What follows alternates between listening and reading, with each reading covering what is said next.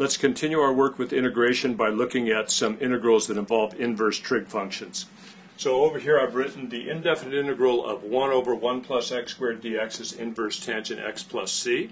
Okay, that means that it came from this derivative formula. If y is equal to inverse tangent x, then the derivative of y with respect to x is 1 over 1 plus x squared. Likewise, with the um, chain rule, if I have y as inverse tangent u, where u is a function of x, then the derivative of y with respect to x is 1 over 1 plus u squared du dx. So what I want to do is see if I can't derive these formulas here real quickly because that's the way I remember them. I can't always remember what the integral of 1 over 1 plus x squared is, but I usually go back to the trig functions and do the derivations. So look here, if I have y is equal to inverse tangent x, then that means that tangent y is equal to x. That's the relationship between inverse functions. If y is equal to inverse tangent x, then tangent of y is equal to x. Now I'll just differentiate implicitly. The derivative of tangent y with respect to x is secant squared y times the derivative of the argument, which is the derivative of y with respect to x, and then the derivative of x with respect to x is just 1. So if I solve this for dy dx, what I'll get is this. The derivative of y with respect to x is equal to 1 over secant squared y. Okay, and that's correct. That is the derivative of y with respect to x, but the problem is when we differentiate with respect to x, we'd like our derivative to be in terms of x, and this turns out to be in terms of y. So we, what we need to do is find some way to get this written in terms of x. So let me show you my little um, Pythagorean identity from trigonometry. Cosine squared theta plus sine squared theta is equal to 1, correct? Okay, if I divide both sides of this by cosine squared theta, I end up with 1 plus sine squared over cosine squared tangent squared theta is equal to 1 over cosine squared is secant squared. So secant squared of theta is always 1 plus tangent squared theta. That means that 1 over secant squared y must be 1 over 1 plus tangent squared y, right? 1 over 1 plus tangent squared y. And look, tangent of y is equal to x. So this is 1 over 1 plus x squared. So that's where that formula for that derivative comes from. It's really very simple. If y is equal to inverse tangent x, then tangent y is equal to x. Differentiate implicitly, and I can solve for dy dx and find out it's 1 over secant squared y. But the problem is that's in terms of y. We want it in terms of x. So I just go back to some real simple trigonometry. One of the first things we learned in trigonometry, this Pythagorean identity. Cosine squared plus sine squared is equal to 1. Divide so that you get the tangent squared right here. So I divide by cosine squared. 1 plus tangent squared theta is secant squared theta. That allows me to take this secant squared y right here and write it as 1 plus tangent squared y. And then I can go back to this substitution and say, well, tangent y is equal to x, so that's 1 over 1 plus x squared. So if you're curious as to where these formulas come from, they're very easy to derive like this. And what's interesting about them is they, they have a relationship between an algebraic function and an inverse trig function. And that's kind of an interesting relationship right there. And it turns out that integrals like this come up from time to time in application problems, and we need to find an antiderivative for them. Turns out just to be an inverse tangent. Let's do another problem. All right, this time let's just start with our inverse trig function and see if we can't derive the derivative and integrals formulas that go with it. So here I have y is equal to the inverse sine of x. Okay, let's write that in terms of a sine. So what I'll say is this, sine y is equal to x. Again, that's the relationship between inverse functions. If y is the inverse sine of x, then the sine of y must be equal to x. Now I'll do the same thing I did last time, just differentiate implicitly. And so I'll get the derivative of sine is cosine y times the derivative of y with respect to x. That's just using my chain rule, right? and then the derivative of x with respect to x is 1.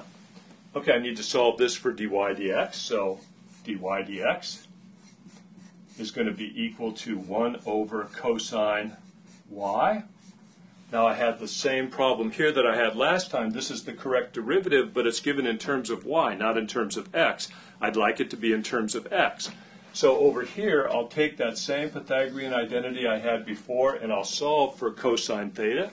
Cosine theta will be equal to plus or minus square root of 1 minus sine squared theta.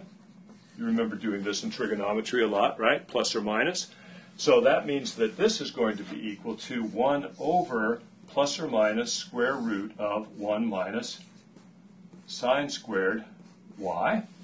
Okay, now how about the plus or minus? Well, I don't have to worry about it in this case because there's a restriction on this inverse trig function here. Remember that this is only good if negative pi over 2 less than or equal to y less than or equal to pi over 2. So y in this case is an angle in quadrant 4 or quadrant 1. y goes from negative pi over 2 to positive pi over 2. So that means that cosine y is what? Well, in quadrants 4 and quadrants 1, the cosine of any angle in there is always a positive number. So I don't need to worry about the plus or minus right here. It's just going to be plus.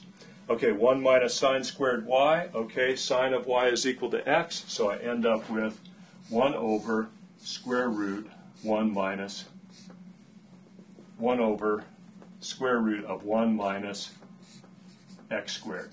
Okay, there's my derivative formula. dy dx is equal to this. If y is equal to inverse sine x, then its derivative is 1 over square root 1 minus x squared. And that means that the indefinite integral of 1 over square root 1 minus x squared dx must be inverse sine of x plus c. So again, I have another one of these formulas that gives me a relationship between an algebraic function and an inverse trig function like this. Okay, let's see if we can use these formulas. Okay, this time I have a definite integral from 0 to 0.5 of dx over 1 minus x squared. Okay, it has the uh, form of that inverse sine uh, integral or antiderivative, so I'll just write this as inverse sine of x evaluated between 0 and 0.5. So that's going to be inverse sine of 0.5 minus inverse sine of 0. Okay, so this is the angle whose sine is 0.5. That's between negative pi over 2 and positive pi over 2. Okay, inverse sine of 0.5, the angle whose sine is 0.5, 30 degrees, which I'll write in radian measure as pi over 6, minus the angle whose sine is 0. Well, that's easy, that's 0. So this definite integral just comes out to be pi over 6, and I use my formula that uh, gives me an antiderivative of inverse sine. Let's try another one. Another definite integral here from 1 to square root 3 of 6 over 1 plus x squared dx. Okay, well, this constant right here can cross the integral symbol, so I'll just have 1 over 1 plus x squared dx. Well, that's going to be my inverse tangent formula. So this comes out to be 6 inverse tangent of x evaluated between 0, whoops, not 0, but 1 and square root 3. So that's going to be 6 inverse tangent square root 3 minus 6 inverse tangent of 1. So 6 times the angle whose tangent is square root 3. Well, when I think of this, I think of tangent as sine over cosine. Okay, and I want to end up with a square root 3, so sine over cosine, square root 3 over 2 over 1 half. I look at it that way, and then I know that the sine must be square root 3 over 2, so that means that my angle must have been 60 degrees or pi over 3. So pi over 3 minus 6 times the angle whose tangent is 1. Well, tangent, remember, is sine over cosine, and sine and cosine are equal at 45 degrees or pi over 4. So I'll write it like that, pi over 4. Okay, 6 times pi over 3, uh, that's going to be 2 pi minus 6 times pi over 4. Okay, that's 3 pi over 2. What do I have here? 4 pi over 2 minus 3 pi over 2 looks like pi over 2.